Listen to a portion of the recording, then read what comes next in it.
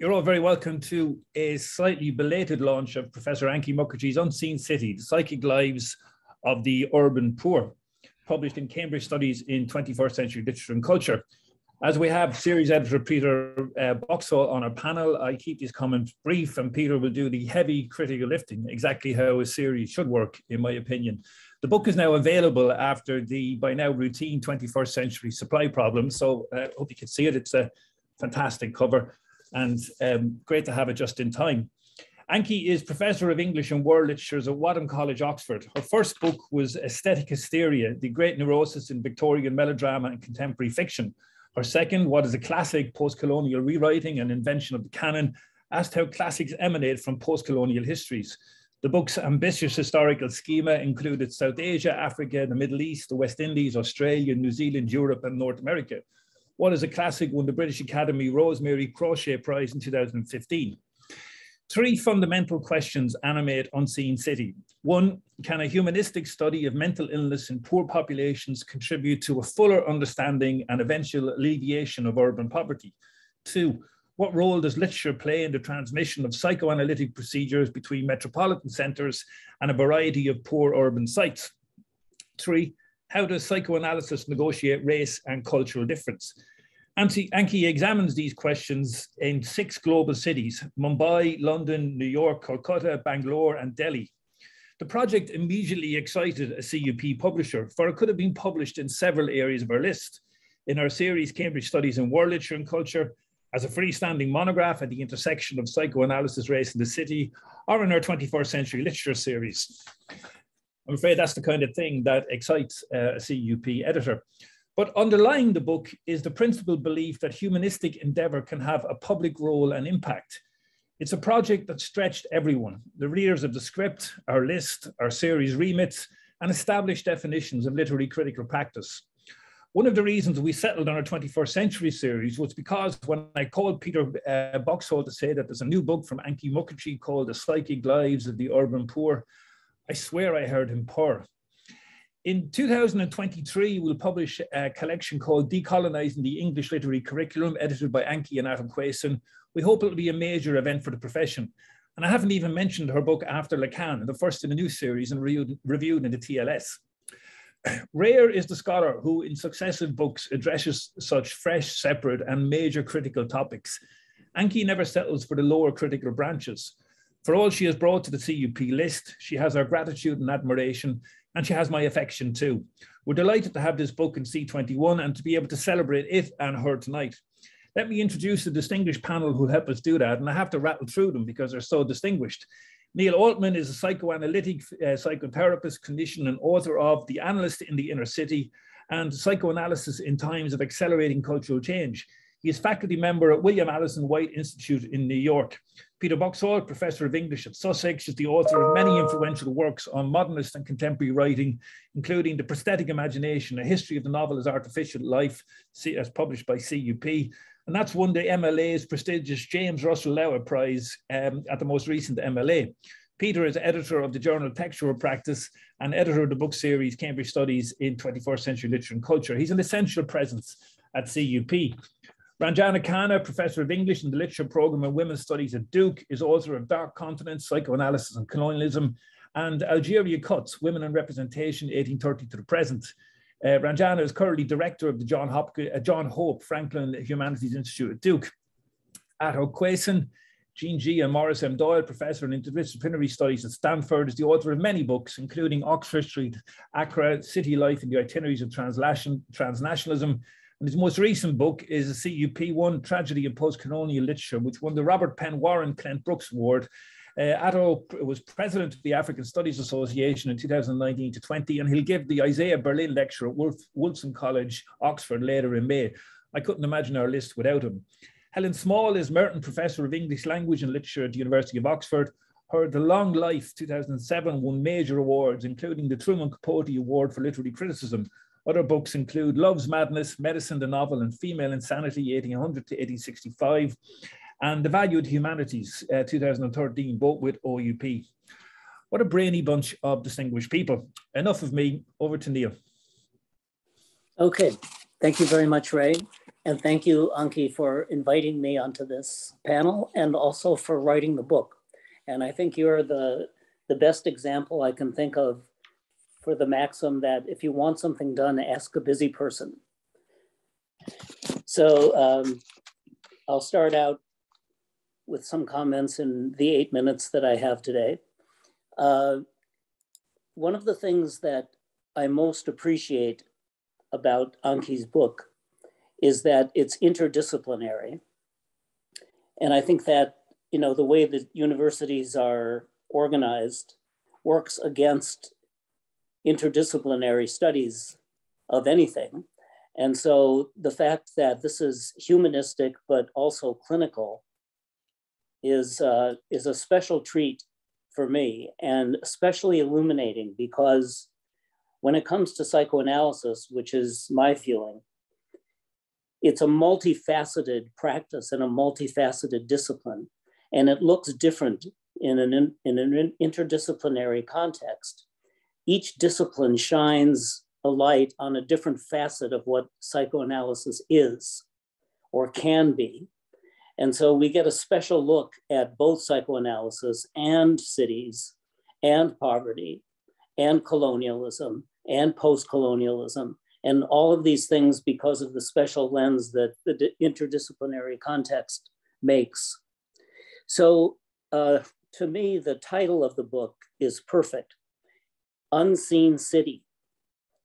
Why is it unseen? We're talking about the, the, the city that contains the colonized people and the people who are economically poor. And when I use the word poor, I always include a qualifier such as economically, because people who are economically poor very often are, are rich in other ways, in cultural ways.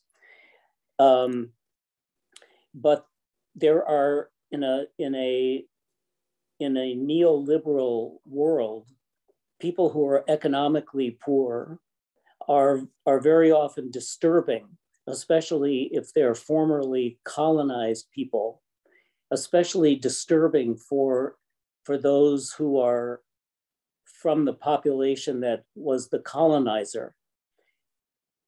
And so the way that one, one of the things that psychoanalysis is especially illuminating about is the way that when something disturbs us, we tend to develop a blind spot around it and not to see it.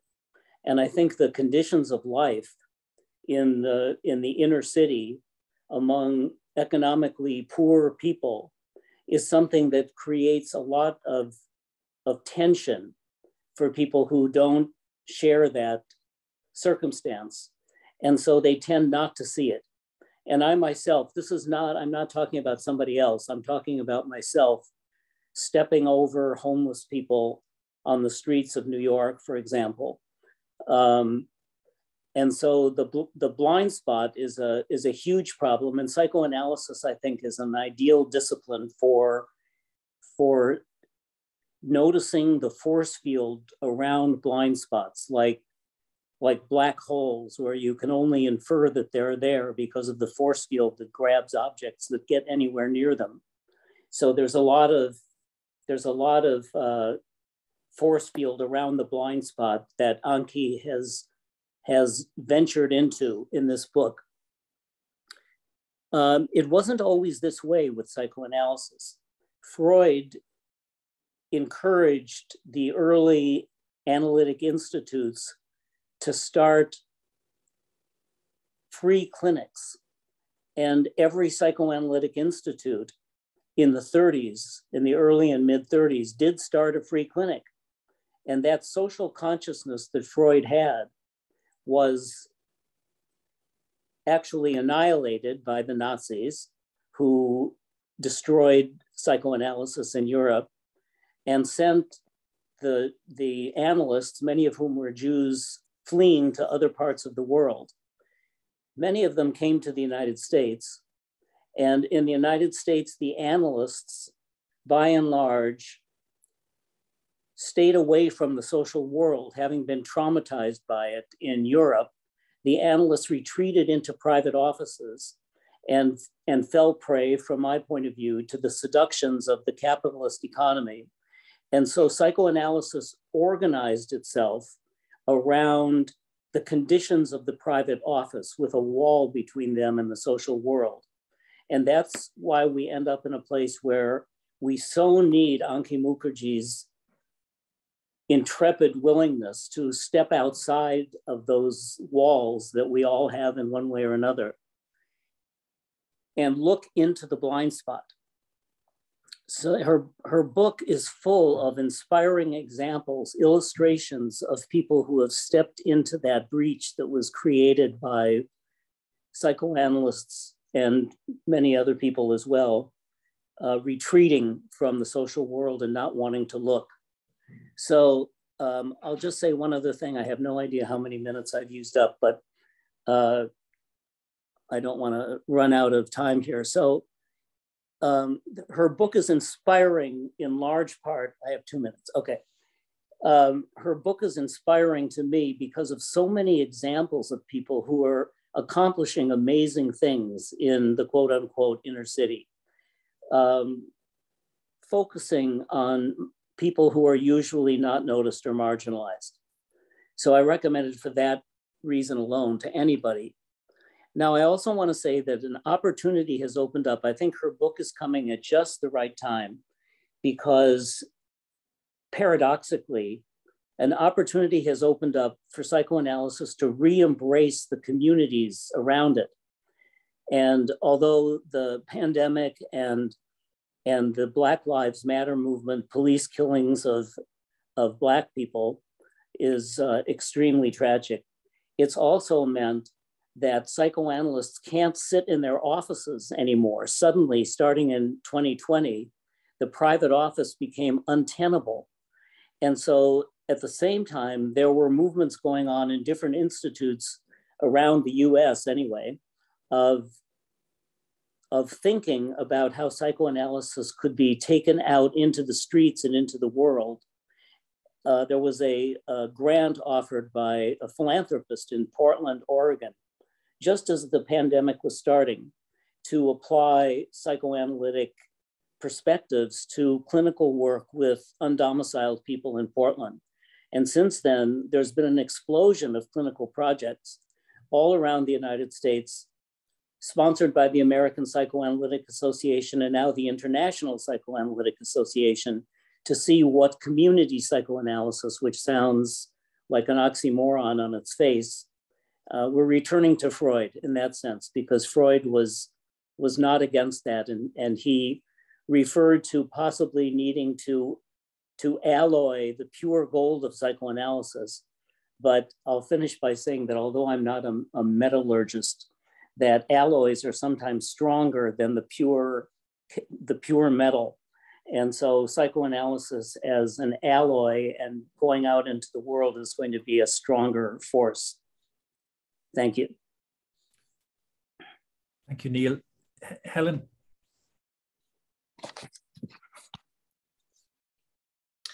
Thank you. It is such a pleasure to help celebrate the publication of this brilliantly original, politically committed, and methodologically daring book.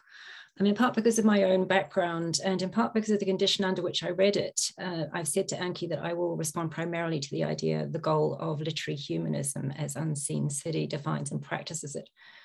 I've read the book just in the last few days and an immediate aftermath of a conference in Lund, Sweden on the many faces of the humanities, the aim of which was to refresh, reproblematize the critical conversation around interdisciplinarity and the humanities conference ended with a frank conversation of the kind that Neil was just signaling to us about just how difficult it remains in 2022, even after decades of substantial government and philanthropic funding to identify work that genuinely combines the perspectives of the medical sciences, the social sciences, and the humanities, and presumably also the sciences more broadly, when it's addressing the really intractable problems that our societies are facing climate change, environmental degradation, war, the challenges of an aging population, security, food security, and then what the EU, in the context of this book, really blandly calls health, demographic change, and well being. Hmm. Many of the papers in Lund had an explicit commitment, and I think all of them had an implicit investment in identifying the humanities as the potential broker in the room. The place where we go if we want articulacy and good reasoning about the ways in which the non aligned practices of our disciplines can be made conversable, ideally synthesized rather than packaged, as the funding, funding bodies tend to say. More broadly, I'm struck by the frequency with which recent work in the humanities has had recourse to a phrase that originated in the social planning discourse of the early 1970s, wicked problems. It's germane to Ankhi's identification of how the unseen city escapes the vision of the rational urban planner, the urban cosmopolite, the colonizer, that the authors who coined wicked problems, Horst Rittel and Melvin Webber, were experts in architecture and city planning, interested in how information systems and evolved community models of urban development could provide a route through social problems that are endemic and that have no viable solution in view. We are, the humanities are, if many commentators inside and outside our field are to, believe, to be believed the experts, or we stand to make ourselves the experts in addressing the dilemmas for which there is no well-described set of actions or tests that might provide solutions where the trouble is presumed to be ongoing, ineradicable even, where every problem is a symptom of another problem, where we can't necessarily even agree on the causes, and where above all values clash and interests clash and communities clash. Care of the old it happens to be the domain in which I'm trying to think about this, but this book is absolutely articulating the problems uh, in view. So the promise to us is that we can be the brokers, we're told, because we have access to the vocabularies the theories that allow us to compare values, identify sources of difference, describe psychological and emotional predicaments, the suffering, as well as the rational interests. It's quite a powerfully seductive idea of why we matter at a time when we're all too familiar with the ongoing pressures against investment in and recruitment to the humanities. I'm interested in how this very clever book at once invokes that promise to ourselves of what we might be and how it holds us up to us as indeed a very powerful potential seduction. I want to quote just one short passage from chapter two, where Ankhi's setting out the history of improvisatory free clinics, staffed by progressive psychoanalysts with a sense of social obligation to those for whom the standard routes of individual therapy were out of reach. She's partly quoting Penelope Crick, I should say. The clinic has a number of fantasy functions in the minds of different people. First, it's expected to reflect the charitable aims of the society. Second, it has an asylum function to contain disturbance, distress, unmanageable anxieties for next to no cost. Finally, I think, I think there's an element of, of deliberate calculated cynicism here. It's expected to provide a steady stream of patients with just the right amount of disturbance for training needs. Ankhi doesn't immediately comment, but if I read her right, this understanding of a fantasy of near costless solution and the hint of professional narcissism, also professional anxiety attached to the historic working of the free clinic at certain points, is what takes her to her coinage of a portmanteau, a portmanteau word, psychomattering. Psychomattering gives a name to the non-end driven, experimental, interruptive, temporarily stressed forms of therapy that try to make a difference to the enormous mental suffering, the humiliation generated by social oppression. Many of the therapists and healers she discusses in the chapters are professionally educated according to established protocols. Very many aren't. They're vulnerable experts, as she puts it, barefoot researchers, lay counselors, community based mobilizers. For force pragmatic, they're not aiming at the sufferer's self understanding. They're looking to alleviate the most immediately distressing and disabling symptoms. This is a book that puts a lot of pressure on some of the key areas in which medical humanities has a track record of valuing its contributions, narrative, perhaps most obviously. The novels and case studies that Ankhi is dealing with recognize the mess of mind and the mess of social and political circumstance as insoluble the, tra the traumatic stresses they deal with as not retrospective, but ongoing, continuous, structurally entrenched, constantly repeating. So the book's close readings work wonderfully to refine our vocabularies for doubling and equivocation, for thinkability rather than accountability, for taking a responsibility, as she puts it, rather than setting right. I have two questions for her.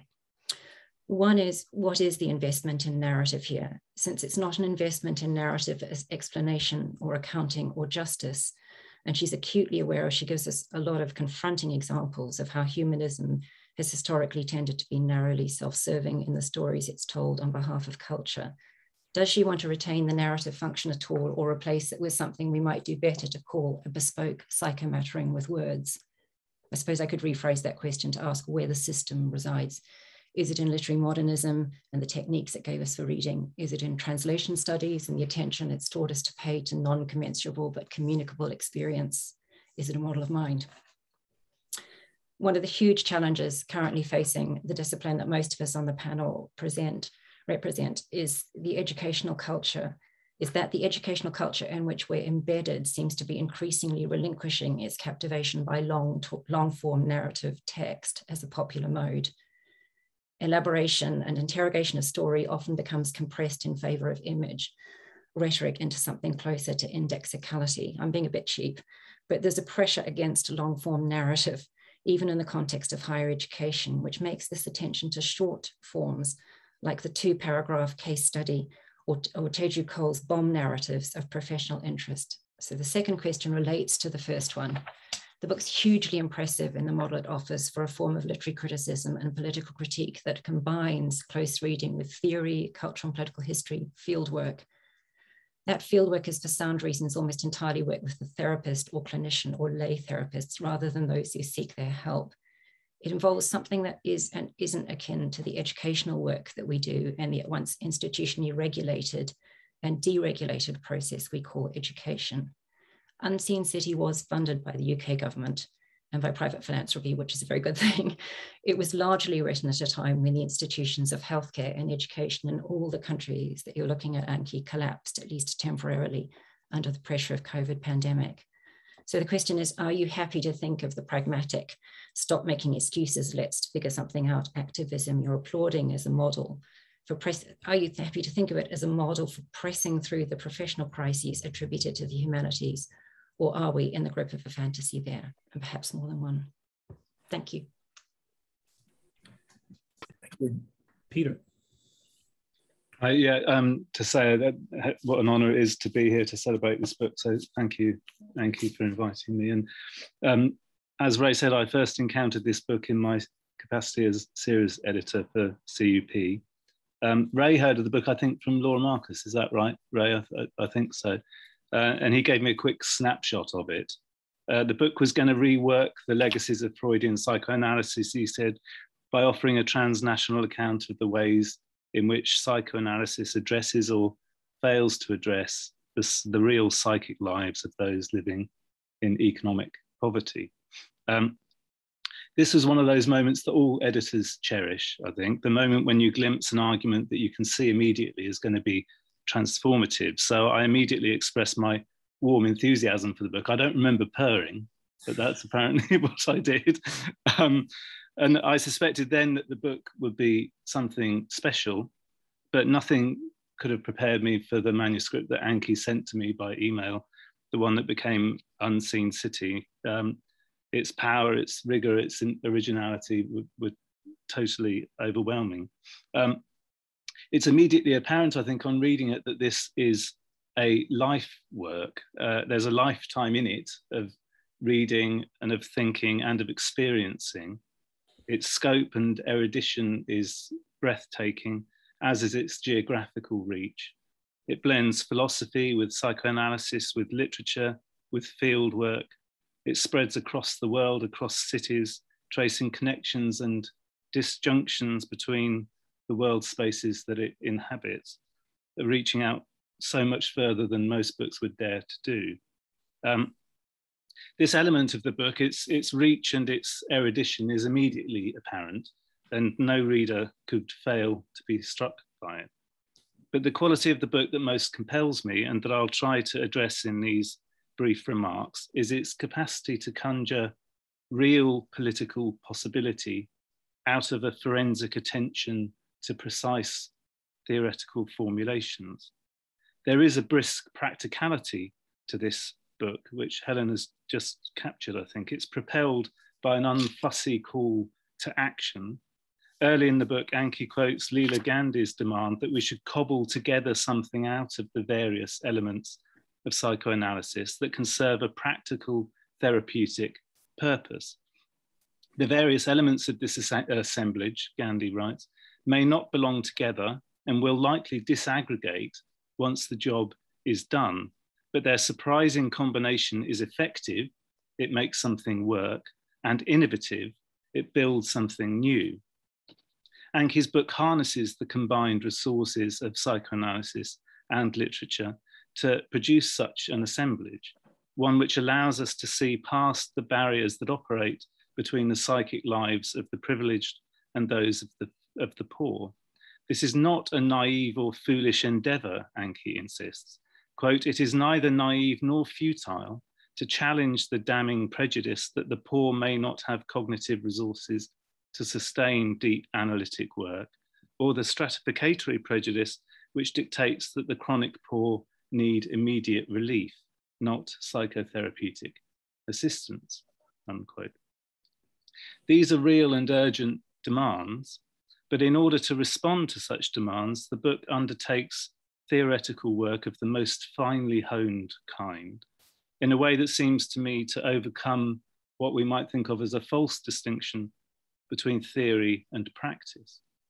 To approach the fraught ground between the wealthy and the dispossessed requires the most thoroughgoing critique of the ways in which psychoanalysis and aesthetics have organized themselves along these socio-economic fault lines.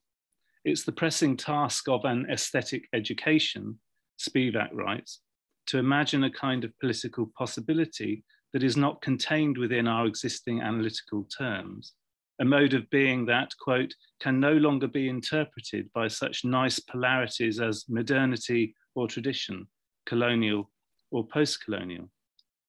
This claim from Spivak echoes through Ankhi's book.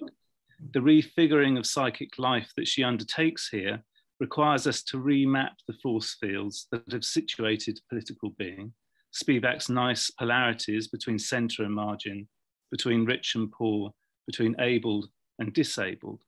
Unseen City, Ankhi writes, quote, enlists literary examples to illustrate the problem field of faulty psychological, psychoanalytical categories and provide ways of imagining these categories anew. This does not involve a, an apology for the tendency of Freudian psychoanalysis to replicate violent distinctions between mastery and subservience, between the civilized and the primitive. Rather, it draws on the language of psychoanalysis to fundamentally reconceive the terms in which psychoanalysis makes psychic life readable outside of those binaries that Spivak disavows, those binaries that can no longer make our contemporaneity visible to us. So Ankhi asked us to bring these remarks to a close with a question. And the question I'd like to ask relates to this perception that the task of the humanities today involves the reordering or remapping of our psychic categories. One of the oppositions that Spivak doesn't mention in the passage that Ankhi quotes, but that is perhaps the dominant binary in Ankhi's book, is that between the inside and the outside of being, between interiority and exteriority. It's a claim commonly made both of psychoanalysis and of literary fiction that they allow us to see inside other people, to gain access to the deep psychic lives of others. To an extent, Ankhi's book sustains this claim. It's an aim of the clinics that Ankhi investigates to cultivate what she calls a rich and complex inner life over time in the modern psychoanalytical subject. But nevertheless, it's a recurrent theoretical imperative in the book to move past the opposition between the inside and outside of being that is foundational both to literary fiction and to psychoanalysis. Early in the book, Ankhi quotes Nikolas Rose's assertion that, quote, the interiority that is the stock in trade of psychological systems is best understood as a discontinuous surface, an infolding of exteriority. The human material of modernity, Ankhi writes, is an inside formed by discourses outside. And so the question arises how can we approach a psychic inside that is no longer framed in opposition to an outside through a theoretical language that is so heavily invested in the myth of psychic innerness? Ankhi's book, I think, is an extended address to that question. She reads the Free Clinic and a range of contemporary literatures to approach a space that is neither inside nor outside, a form of psychic life that might exceed the boundaries between subject positions that is a legacy of colonial architectures of knowledge. If I read her correctly, she doesn't only set out to draw on imaginative or analytic forms to salvage the inner lives of those who've been deprived of interiority, but also to rethink the terms in which we've constructed the fields of inner and outer lives, terms that have equated innerness with wealth and privilege. So at the risk of asking Ankhi to rehearse the entire argument of the book, my question is this, what does a rerouted relation between interiority and exteriority do to the therapeutic possibilities of psychoanalysis? What does it do to our understanding of the history of the novel? And what does it suggest about the ways in which we might rethink now the possibilities and stakes of an aesthetic education? Thank you, Peter. Um, Ranji? First of all, let me just congratulate um, Ankhi on this wonderful publication. It's just been so um, uh, fascinating to read different versions of it and hear different versions of it over the last um, few years. And um, thank you very much. It's really a, um, an amazing, an amazing book. Um, so I, I want to concentrate my um, comments on the question of poverty um, uh, also, and to ask Ankhi uh, to expand a little bit more on the question of poverty. Ankhi's um, Unseen City, The Psychic Life of Poverty in Mumbai, London, and New York is a wonderful account of the relationships, what I understand is the relationship among various modern, um, certain kinds of modern forms. The form of the city as a modern form specifically, um, the form of poverty in the city, and psychoanalysis. Um, and, and also in relation to that, the meaning of poverty in cities. Um, it shows why a humanistic understanding of psychoanalysis is essential, underscores the need for an aesthetic education, and also reveals the importance of adapted psychoanalysis for the poor, as suggested by Freud and as expanded upon in different forms around the world um, in largely city based clinics that are distinct from the mental asylums or psychiatric facilities that, that, that, um, that may also be in those spaces. And the book takes us around the world to understand psychoanalysis' relationship to poverty, the city form, I think, and writing of various sorts from the ethnographic to the fictional.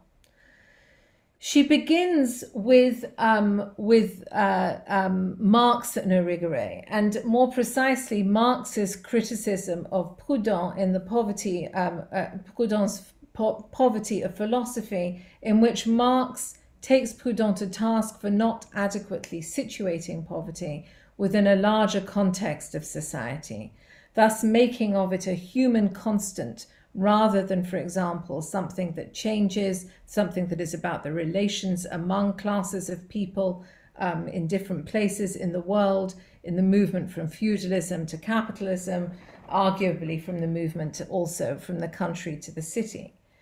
And in the poverty of psychoanalysis, Ankhi reminds us um, uh, uh, Irigaray takes Lacan to task for um, producing uh, a psychoanalysis that apparently is existing in a vacuum. She writes, she quotes um, Irigaray, you refuse to admit that the unconscious, your concept of the unconscious, did not spring fully armed from Freud's head, that it was not produced ex nihilo at the end of the 19th century, emerging suddenly to reimpose its truth on the whole of history, world history at that, past, present, and future. Now, in in in addition to these um, the, these these uh, the um, the relationship um, uh, between Marx and Proudhon and Irigaray and uh, Lacan, we might also, for a moment, add to to those two pairs, E.P. Thompson's The Poverty of Theory, um, in response to Louis Althusser and particularly the final chapter of Reading Capital and the work more generally on the poverty of humanism, when Thompson writes um, uh, criticizing Althusser. Um, and, and he, he, he says Marx does not only lay bare the economic processes of exploitation, but he also expresses or presents his material so as to evoke indignation at suffering, poverty, child labor, waste of human potentialities, and contempt for intellectual mystifications and apologetics. Now, I bring this up because of in that duo, of course, Althusser is the more psychoanalytically inclined, more the more psychoanalytically invested, um, and arguably um, the more multimodal, right? And I mean that is an argument that I'm sure Thompsonites might sort of take a different take issue with. Um, so, so my question, um, Ankhi, for you, it's not coming at the end of my comments, but in the middle. Um, uh, um, uh, my question for you um, is um, is is to uh, ask you whether there is a specifically psychoanalytic concept of poverty, right? And the reason that I want to do this is partly because I'm following along a line of thought that I know that you've also been very interested in, in, um, in Derrida's essay Geopsychoanalysis, where he takes psychoanalysts to task for actually quite a liberal understanding of torture in that context. When, when when um, when he's analyzing the address um, to the psychoanalytic um, international um, uh, in Argentina. And I suppose what one of the things he says is that actually their sympathy, their understanding, um, and their liberal response to torture actually doesn't really adequately grapple with the psychoanalytic um, understanding of cruelty, of harm, of uh, self preservation, of the death drive, um, uh, i.e., in his words, to have a truly psychoanalytic understanding of torture.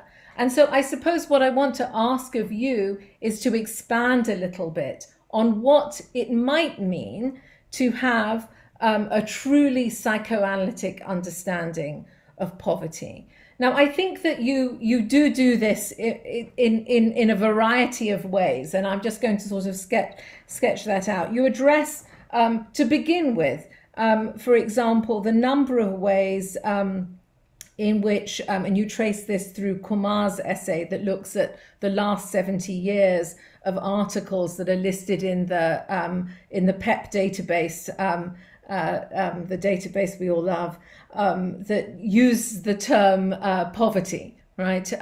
And those range from things like uh, um, the impoverishment of ego in melancholia to poor people, um, people who are understood to be to be deprived um, in some way of the um, of the expectations um, of um, of uh, of, of housing, of adequate food, etc., in any in any given context.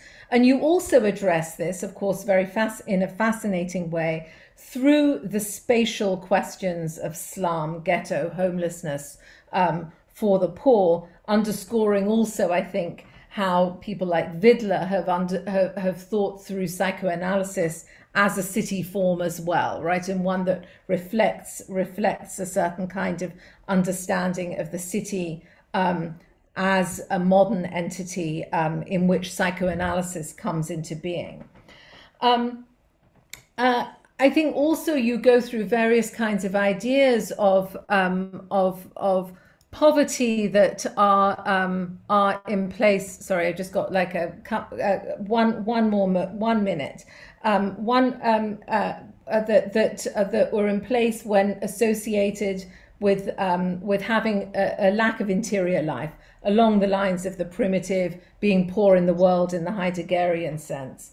And I think also another sort of understanding of homelessness there homelessness is you know one one one that one might think of in terms of the kind of post monastic Franciscan wandering of the highest poverty as discussed by someone like Agamben. So I'd just like you to address this question of what is poverty for psychoanalysis Um, and, um, and, and, and how does that play out in the, um, in, in the forms of um, uh, authorship also that we see in the literary texts that you, you address? Thank you. Thank you. Ato.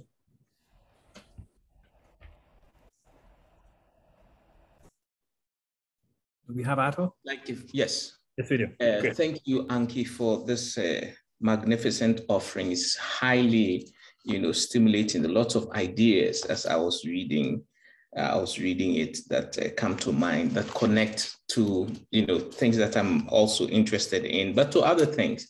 Now, I have two comment questions. Uh, one has to do with uh, my reading of the Mumbai chapter three, slums and the post-colonial uncanny, uh, which, which is extraordinarily interesting because what you do with Freud and uncanny as a concept for looking at the slum, you know, starting from Slumdog Millionaire and, and various other texts.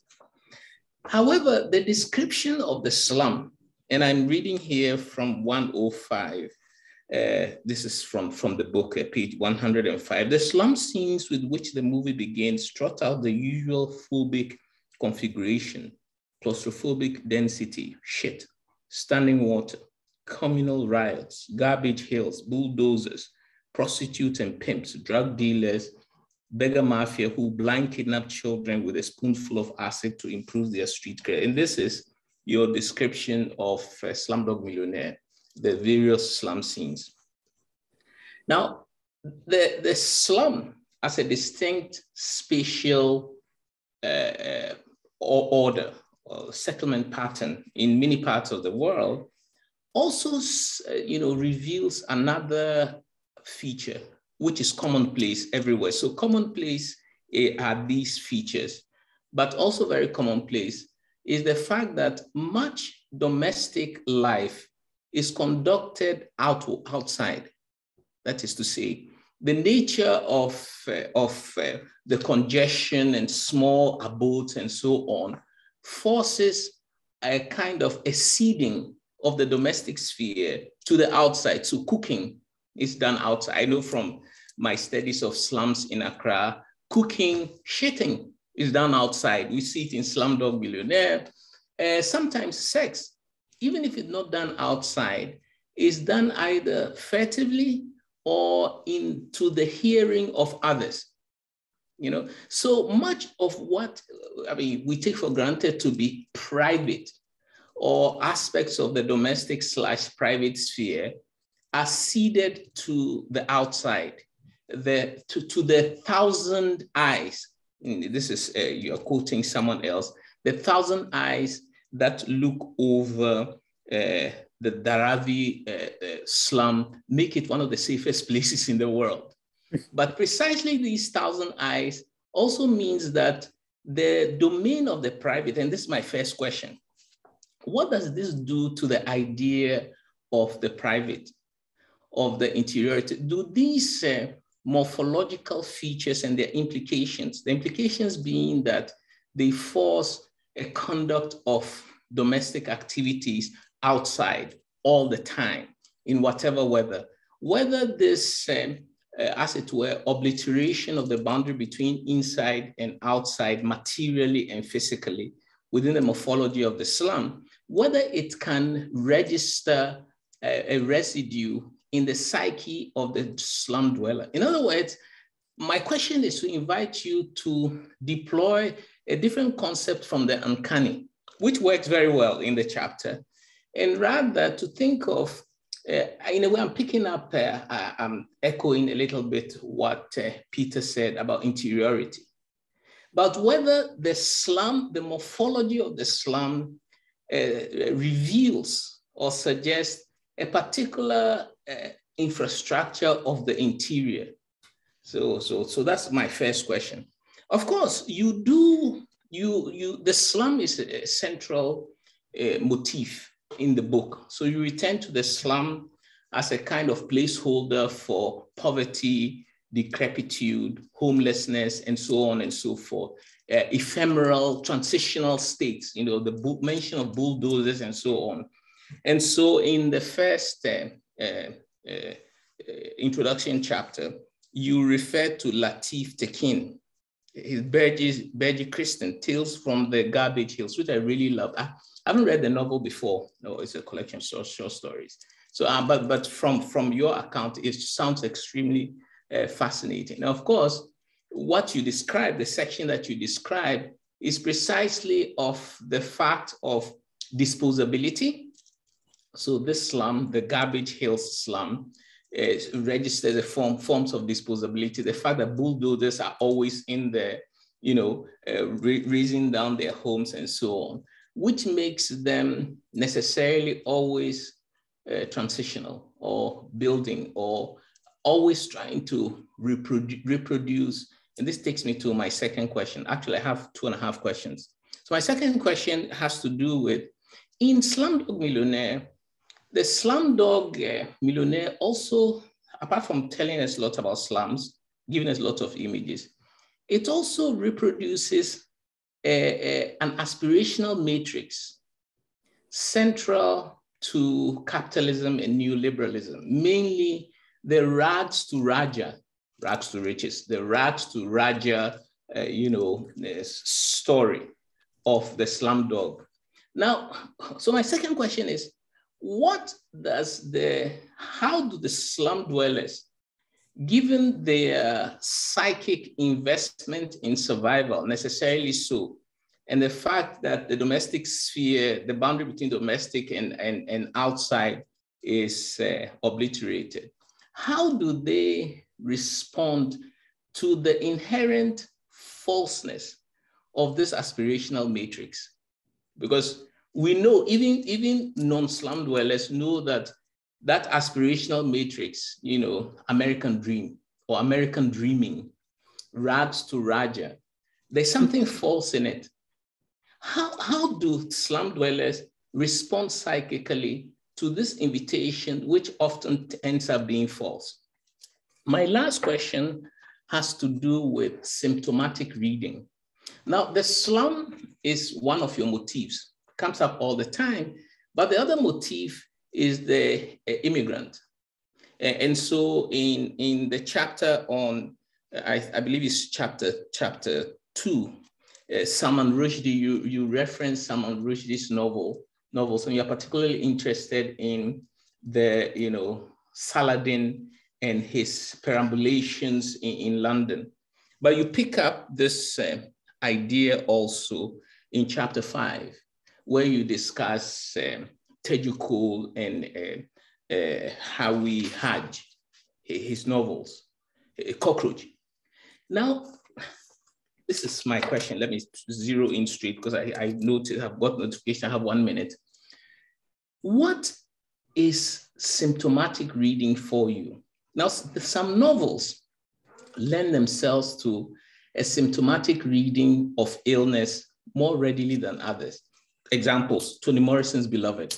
Everyone knows that when you read Beloved, you know without much effort that this is full of illness or uh, you know uh, Beckett's Murphy, which is a, a text I think uh, assemblative of autism. So some texts deliver this more readily than others, but the ones that you choose is not so obvious. If, if someone who had not been reading the, the, the text that you choose in relation to, to unseen cities, it is not obvious that these are texts symptomatic of illnesses. So my question is, what is symptomatic reading to you? Basically, it's for you to divulge to us your method of reading. Thank you very much. Thank you, thank you, Adam.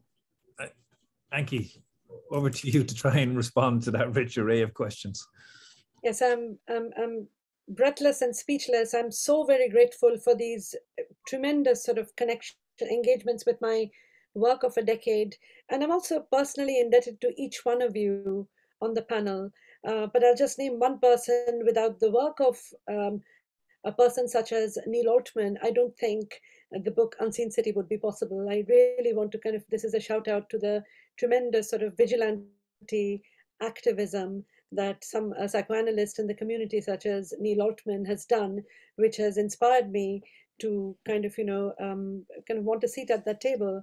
Um, I just want to kind of um, read out a little bit and then I'll answer the questions. If I don't answer them right away, you, you please know that I will be answering them over weeks or months because they're very, they're, they're sort of very deeply ingrained in um, uh, the way in, I now think about some of the aspects of the book.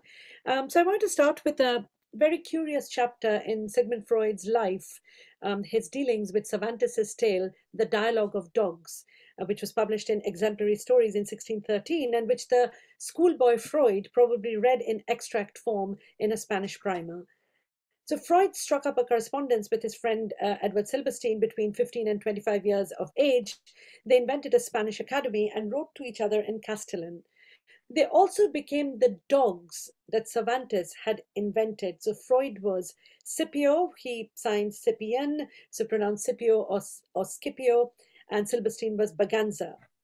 Scipio, like the pre psychoanalyst Freud of studies on hysteria, asked questions and listened, while Berganza free associated and mouthed off.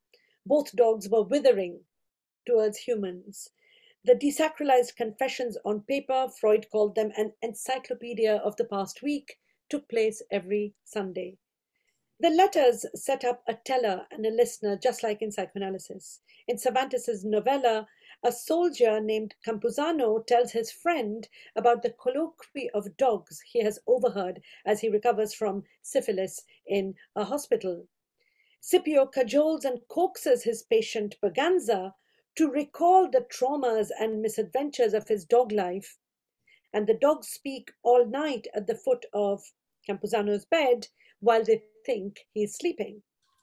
Cervantes' tale is thick with Freudian tropes fantasy masquerading as reality, infants turned into animals, enchantment and transformation, the varied relationship of language with instinct and reason.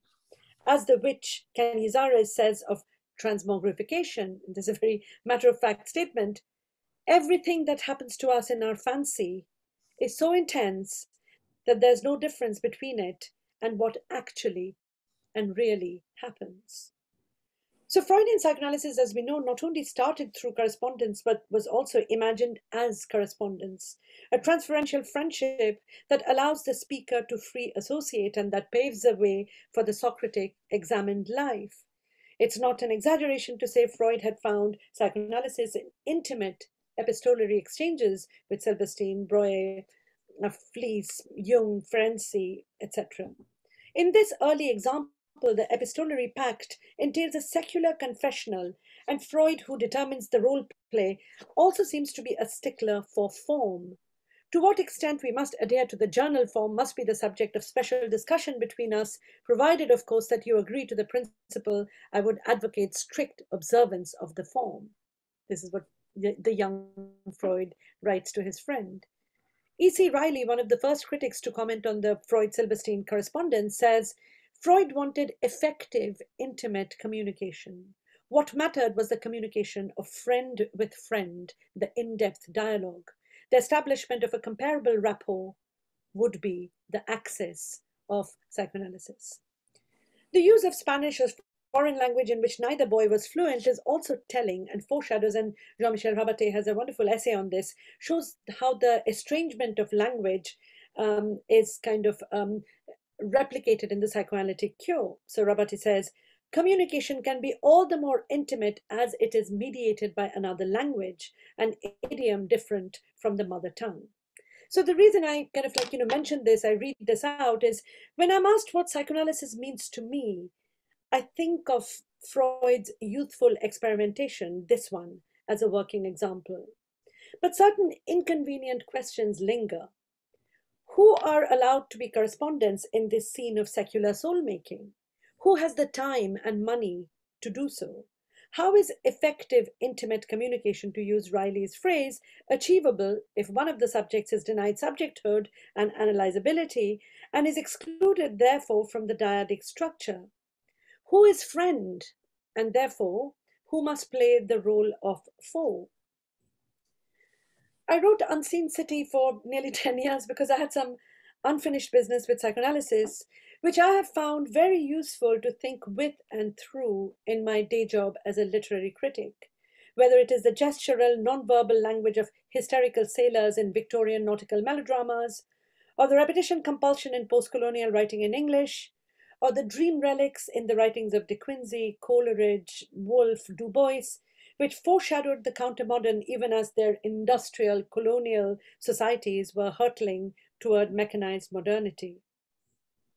I found psychoanalysis an, a useful instrument to tally the said against the unsaid, the mind against the body, the psyche and soma of unconscious moments underpinning literary and cultural creation. The starting point of Unseen City, as um, several of you have mentioned, is this historical phenomenon called the free clinics, improvisatory structures which tried to mobilize an international mental health cooperative movement.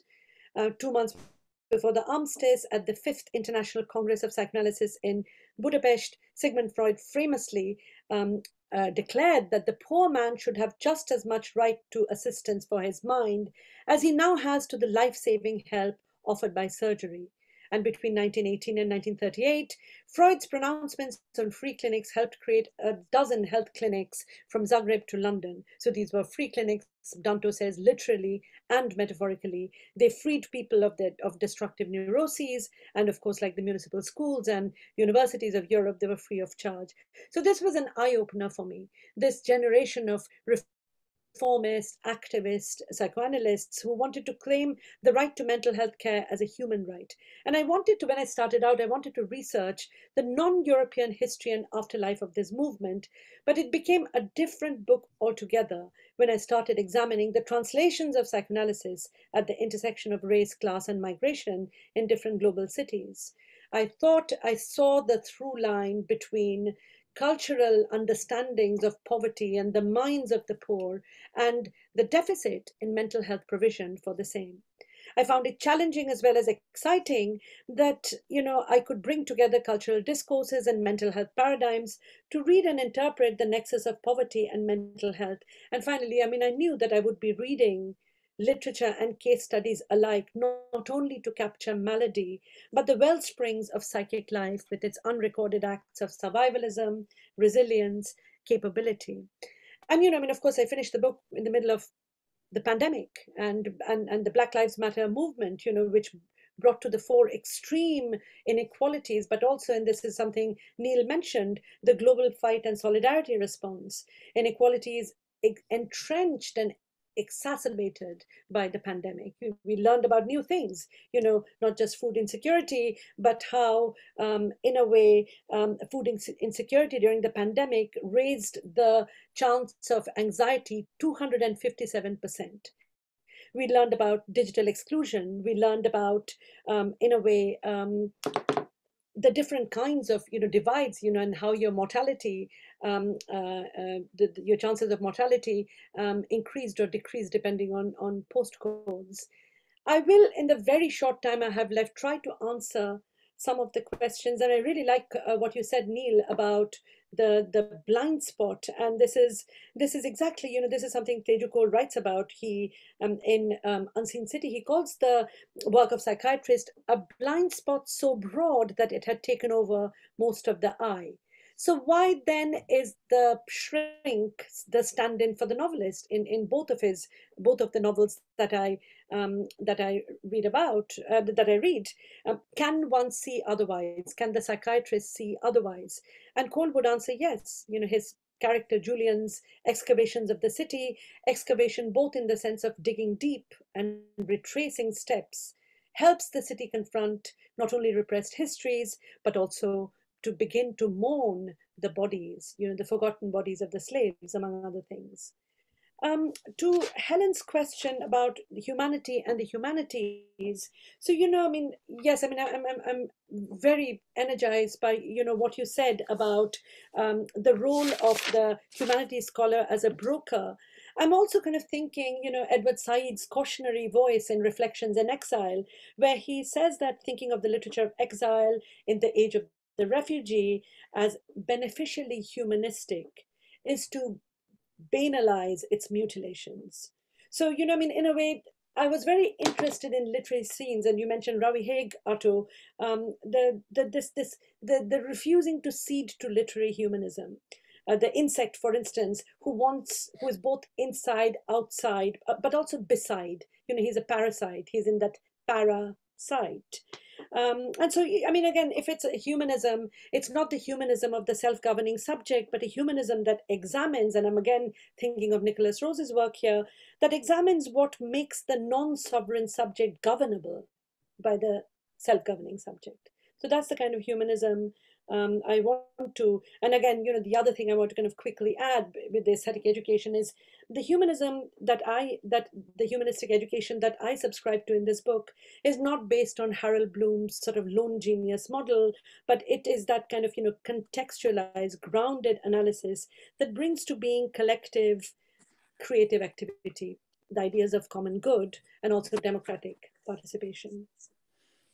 Um, Peter's uh, kind of, you know, um, I, I, really loved the way in which you talked about how the inside and outside are no longer sort of in a way binaries, and that's that's very much and in a way the task of the humanities is to remap um, uh, kind of you know these psychic um, categories, and and and that that is kind of you know very much the way in which I um, I see my own role in this because there were many times when, and Ato asked as well, and I'll try to answer this in, in, in my answer to you, Peter.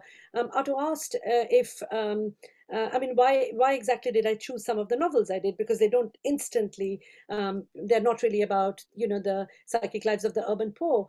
And one of the reasons I chose them is because I saw in that figure of the flaneur, the restive figure, the person who is trying to um, walk the city and, and redefine the city through walking, who wants to be nothing but pure point of view, I saw myself in that figure. I saw myself in that in that you know particular um, that that that fantasy of pure point of view, and which is a which is a pernicious fantasy because you know I'm very much I need to sort of in a way acknowledge my own role in. I mean that's one of the reasons why I love the Teju Cole cover that it's looking at the city through what looks like a porthole, but it's actually an airplane window. And that is kind of, you know, in a way, whether or not I like it, that's my vantage point. It's my vantage point is not from the ground up.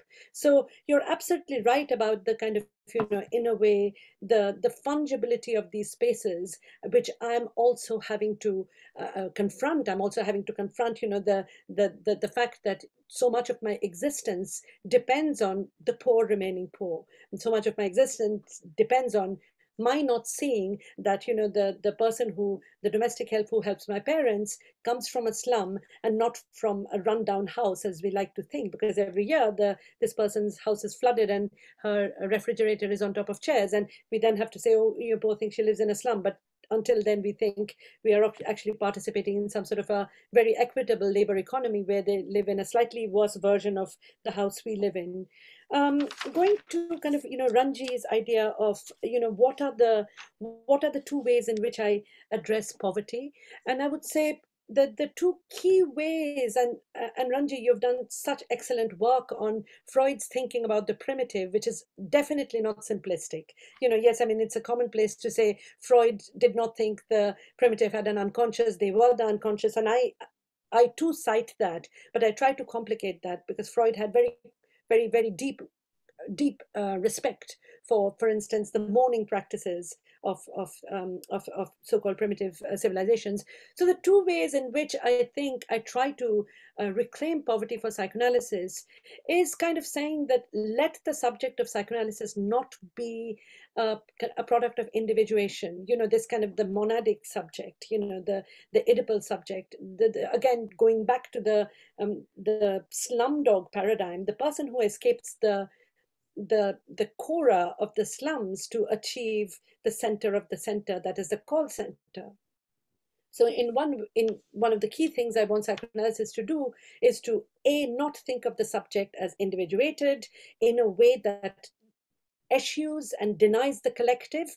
I also want psychoanalysis to think of the collective as having human faces. And I have really tried to do that in the case studies. I've tried to bring out singularities, I've tried to bring out, bring out idiosyncrasies.